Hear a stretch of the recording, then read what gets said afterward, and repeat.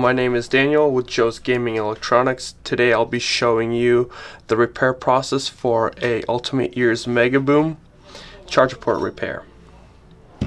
So you need to do this repair you need uh, a tool such as this so pretty much a large pry tool where you can pry up the different sides of the Megaboom and a small flathead screwdriver and the replacement part which you can buy from our website. So you start out by going to the charger port side, side of the Megaboom and prying up right about a quarter of the way from the center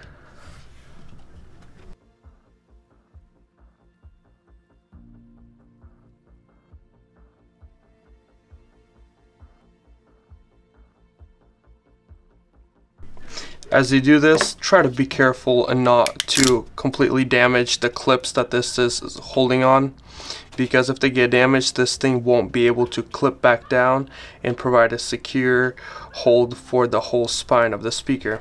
After this, you can lift this like this and you can pry up the spine of the speaker like this.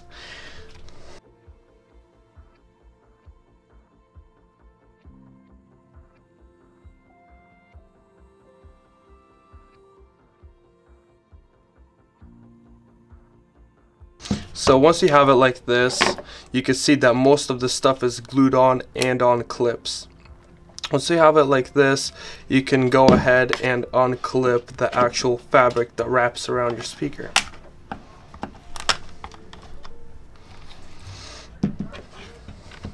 Once you have this opened up like this, you can go ahead and unclip the fabric from the bottom side of the speaker where the charger port is at. Primarily this video is intended if your charger port, this piece is completely broken in and is not functional.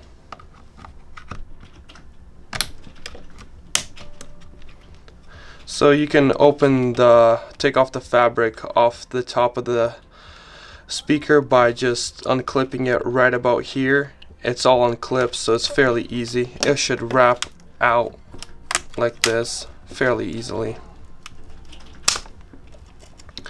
Once you have this like this you can easily take this part off by inserting your bigger pry tool and where the first half of the speaker starts right about here. Just with this motion you, you're able to take it off like this.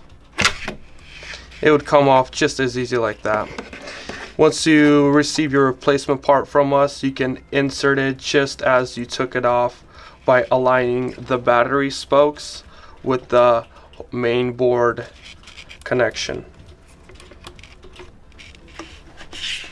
By pressing down on it like this,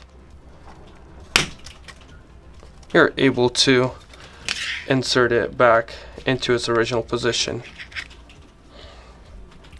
when we put the speaker back just pretty much everything goes back the way it was how you took it apart just in reverse by wrapping the fabric around back around again and clipping it in like such as like this.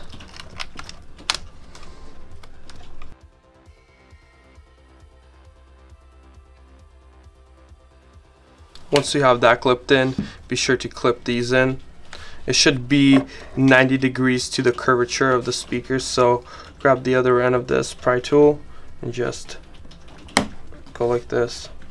Press down on it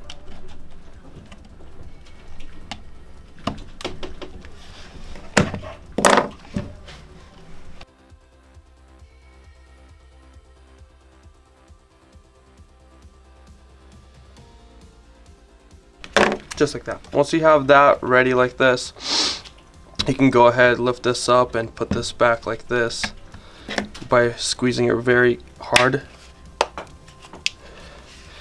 That should clip right back in and then the spine should clip in as well by pressing down on it.